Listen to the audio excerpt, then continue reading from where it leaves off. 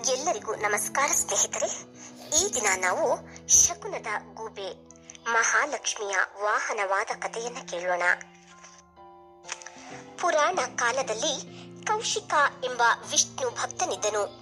ಅವನು ಸಂಗೀತದಲ್ಲಿ ಪಾಂಡಿತ್ಯ ಪಡೆದಿದ್ದನು. ಸುಮಧುರವಾಗಿ ಅವನು ಹೇಳುತ್ತಿದ್ದ ಹರಿಭಕ್ತ ಕೀರ್ತನೆಗಳಿಂದ ವಿಷ್ಣು ಸಂತುಷ್ಟನಾಗಿದ್ದನು. ಹರಿಭಕ್ತ ಕೌಶಿಕ ಮರಣ ಹೊಂದಿದ ಮೇಲೆ ಅವನ ಆತ್ಮ ವಿಷ್ಣುವಿನ ಸಾನ್ನಿಧ್ಯ ಸೇರಿತು. ಶ್ರೀಹರಿ ಕೌಶಿಕನನ್ನು ಸ್ವಾಗತಿಸಿ ಅವನಿಗಾಗಿ ಸಂಗೀತ ಸಭೆ ಎಂದು ನಿರ್ಮಾಣ ಮಾಡಿದನು. ಸಂಗೀತ ವಿದ್ವಾಂಸರು ಹಾಗೂ ತಂಬುರರಿಗೆ ಸ್ವಾಗತ ಕೋರಲಾಯಿತು. ಆದರೆ ನಾರದರಿಗೆ ಸಂಗೀತದ ಜ್ಞಾನ ಅಷ್ಟು ಇಲ್ಲವೆಂದು ಆ ಸಭೆಗೆ ಆಹ್ವಾನ ಕೊಡಲಿಲ್ಲ. ನಾರದರಿಗೆ ಸಭೆಗೆ ಹೋಗುವ ಆಸೆ ಇತ್ತು. ಅವರು ಲಕ್ಷ್ಮಿಯ ಆಸ್ಥಾನಕ್ಕೆ ಬಂದರು. ಲಕ್ಷ್ಮಿಯ ಸಖಿಯರು ಅವರನ್ನು ಒಳಗೆ ಬಿಡಲಿಲ್ಲ. ಇದರಿಂದ ಕೋಪಗೊಂಡ ನಾರದರು ಗೂಬೆಗೆ ಹಗಲಿನಲ್ಲಿ ಕಣ್ಣು ಕಾಣುವುದಿಲ್ಲ. ನನ್ನನ್ನು ಅವಮಾನ ಮಾಡಿದ ನಿನಗೆ ಗೂಬೆ ವಾಹನವಾಗಲಿ ಎಂದರು. ಇದನ್ನು ತಿಳಿದ ಲಕ್ಷ್ಮೀನಾರಾಯಣರು ನಾರದರಲ್ಲಿ ಕ್ಷಮೆ ಯಾಚಿಸಿದರು. ನಾರದರಿಗೆ ದುಡುಕಿನ ಅರಿವಾಗಿತ್ತು. ಕ್ಷಮೆ ಕೇಳಿದರು. ವಿಷ್ಣು, ಆಗುವುದಿಲ್ಲ ಒಳ್ಳೆಯದಕ್ಕೆ. ಲೋಕ ಕಲ್ಯಾಣಕ್ಕಾಗಿ ಎಂದರು. ಮನಸ್ಸಿಗೆ ಸಮಾಧಾನವಾಗದ ನಾರದರು ಕಣ್ಣೀರು ಹರಿಸುತ್ತಿದ್ದಾಗ, ವಿಷ್ಣು ಸಮಾಧಾನ ಮಾಡಿ, ನೀವು ಸಂಗೀತ ಕಲಿತು ನಮ್ಮ ಕೃಪೆಗೆ ಪಾತ್ರರಾಗಬೇಕೆಂದರೆ ಮಾನಸ ಸರೋವರದ ಎತ್ತರದ ಒಂದು ಪರ್ವತದಲ್ಲಿ ಇರುವ ಊಲೂಕಪತಿ ಸೇವೆಗಳನ್ನು ಮಾಡಿ ಸಂಗೀತವನ್ನು ಕಲಿಯಲು ಸಲಹೆ ಕೊಡುತ್ತಾರೆ. ಸಲಹೆ ಮೇರೆಗೆ ನಾರದರು ಮಾನಸ ಸರೋವರಕ್ಕೆ ಬಂದರು. ಅಲ್ಲಿ ಗಂಧರ್ವರು, ಕಿನ್ನರರು, ಅಪ್ಸರೆಯರು ಸಂಗೀತಾಭ್ಯಾಸವನ್ನು ಮಾಡುತ್ತಿದ್ದರು. ಊ ಲೋಕಪತಿ ನಾರದರನ್ನು ಸತ್ಕರಿಸಿ ಗೌರವದಿಂದ ಆಸನದಲ್ಲಿ ಕೂರಿಸಿದನು. ನಾರದರು ಬಂದ ಕಾರಣ ಕೇಳಿದಾಗ ನಡೆದ ಘಟನೆಯನ್ನು ಹೇಳುತ್ತಾರೆ.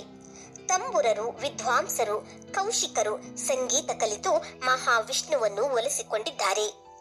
ಆ ಸೌಭಾಗ್ಯ ನನಗೂ ಬೇಕು ಎಂದರು. ಇದನ್ನೆಲ್ಲ ಕೇಳಿದ ಉಲೂಕಪತಿ ತನ್ನ ಪೂರ್ವ ಜನ್ಮದ ವೃತ್ತಾಂತವನ್ನು ಹೇಳುತ್ತಾರೆ. ಪೂರ್ವದಲ್ಲಿ ಧರ್ಮಿಷ್ಠ ಹಾಗೂ ಸತ್ ಸಂಪ್ರದಾಯದ ಭುವನೇಶ್ವರ ಎಂಬ ರಾಜನಿದ್ದನು. ಆದರೆ ಸಂಗೀತ ವಿರೋಧಿಯಾಗಿದ್ದನವನು. ಯಾರೇ ಸಂಗೀತ ಹೇಳಿದರೂ ಅವರಿಗೆ ಮರಣದಂಡನೆ ಶಿಕ್ಷೆಯಾಗಿತ್ತು. ದೇವರ ಸ್ತುತಿಯನ್ನು ಹಾಡಲು ಅವಕಾಶವಿರಲಿಲ್ಲ. ಹೀಗಿರುವಾಗ ಹರಿಮಿತ್ರನೆಂಬ ವಿದ್ವಾಂಸನು ಇದರ ಅರಿವು ಇಲ್ಲದೆ ಹರಿಕೀರ್ತನೆ ಮಾಡುತ್ತಾ, ನಲಿದಾಡುತ್ತಾ, ಕುಣಿದಾಡುತ್ತಾ ಜೊತೆಯವರೊಡನೆ ಬರುತ್ತಿದ್ದನು. ಅವನ ಸಂಗೀತ ಮಾಧುರ್ಯಕ್ಕೆ ಪ್ರಜೆಗಳು ಸೋತಿದ್ದರು. ಇದನ್ನು ತಿಳಿದ ರಾಜ್ಯದ ಮಂತ್ರಿಗಳು ಆತನನ್ನು ಬಂಧಿಸಿ ರಾಜನೆದುರು ಕರೆತಂದರು. ಮರಣ ದಂಡನೆ ಕೊಡಲು ರಾಜನಿಗೆ ಮನಸ್ಸು ಬರಲಿಲ್ಲ. ಏಕೆಂದರೆ ಬ್ರಾಹ್ಮಣನನ್ನು ಕೊಂದರೆ ಬ್ರಹ್ಮ ಹತ್ಯಾ ದೋಷ ಬರುತ್ತದೆ. ಆದ್ದರಿಂದ ಅವನ ಸಂಪತ್ತನ್ನು ಕಿತ್ತುಕೊಂಡು ರಾಜ್ಯದಿಂದ ಹೊರಗೆ ಓಡಿಸಿದನು. ಇದಾದ ಕೆಲವು ದಿನಗಳಲ್ಲಿ ರಾಜ ಮರಣ ಹೊಂದಿದನು. ಮುಂದಿನ ಜನ್ಮದಲ್ಲಿ ಗೂಬೆಯಾಗಿ ಹುಟ್ಟಿದನು. ಈಗ ಆ ಊಲೂಕಪತಿಯೇ ನಾರದನಿಗೆ ಸಂಗೀತ ಹೇಳಿಕೊಡುವ ಗೂಬೆಯಾಗಿದ್ದನು. ಇದನ್ನೆಲ್ಲ ಕೇಳಿದ ನಾರದರಿಗೆ, ಲಕ್ಷ್ಮೀ ದೇವಿಗೆ ನಿಮ್ಮ ವಾಹನ ಗೂಬೆ ಆಗಲಿ ಎಂದು ಶಪಿಸಿದ್ದು ಒಳ್ಳೆಯದಾಯಿತು. ಈ ಮೂಲಕ ನಾರದರು ಗೂಬೆಯಾದ ಊಲೂಕಪತಿಯಿಂದ ಸಂಗೀತ ಕಲಿಯುವುದು ನಾರದರಿಗೆ ತಾವು ಮಾಡಿದ ತಪ್ಪಿನ ಪ್ರಾಯಶ್ಚಿತ್ತವಾಯಿತು ಎಂದುಕೊಂಡು ಸಂತೋಷಗೊಂಡರು. ಇನ್ನೊಂದು ಪೌರಾಣಿಕ ಕಥೆಯ ಪ್ರಕಾರ ಮಹಾಲಕ್ಷ್ಮಿಗೆ ಗೂಬೆಯು ಹೇಗೆ ವಾಹನವಾಯಿತೆಂದರೆ, ಒಮ್ಮೆ ದೇವಾನು ದೇವತೆಗಳು ಭೂ ಪರ್ಯಟನೆ ಮಾಡಲು ನಡೆದು ಬರುತ್ತಿದ್ದರು. ಅವರು ಬರುವಾಗ ಅವರೇ ಸೃಷ್ಟಿಸಿದ ಪ್ರಾಣಿ ಪಕ್ಷಿಗಳು ಎದುರಿಗೆ ಬಂದವು. ತಮ್ಮನ್ನು ಸೃಷ್ಟಿಸಿದ ದೇವತೆಗಳನ್ನು ನೋಡಿ ಪ್ರಾಣಿ ಪಕ್ಷಿಗಳಿಗೆ ತುಂಬಾ ಖುಷಿಯಾಯಿತು. ನಾವು ಅವರಿಗೆ ಏನಾದರೂ ಉಪಕಾರ ಮಾಡಬೇಕೆಂದು ನಡೆದು ಹೋಗುತ್ತಿರುವ ಅವರಿಗೆ ವಾಹನವಾಗಲು ನಿರ್ಧರಿಸಿ ಕೃತಜ್ಞತೆ ಸಲ್ಲಿಸುವಾಗ ಇದನ್ನು ತಿಳಿಸಿದವು. ದೇವರು ಒಪ್ಪಿದರು. ಆಕೆಯ ಪ್ರಕ್ರಿಯೆ ನಡೆಯಿತು. ಎಲ್ಲ ಪ್ರಾಣಿ ಪಕ್ಷಿಗಳು ಲಕ್ಷ್ಮಿಗೆ ವಾಹನವಾಗಲು ತುದಿಗಾಲಲ್ಲಿ ನಿಂತಿದ್ದವು.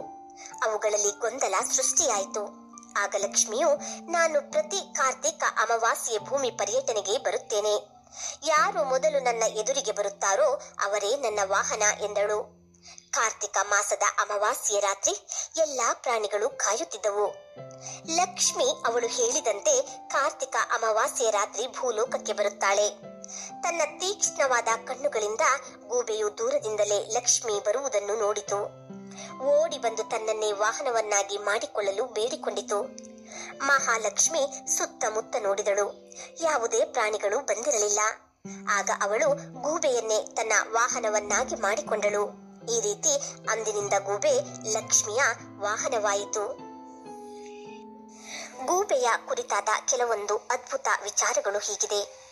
ಗೂಬೆಗೆ ಭವಿಷ್ಯ ತಿಳಿಸುವ ಅದ್ಭುತ ಶಕ್ತಿ ಇದೆ ಎಂದು ನಂಬಲಾಗಿದೆ.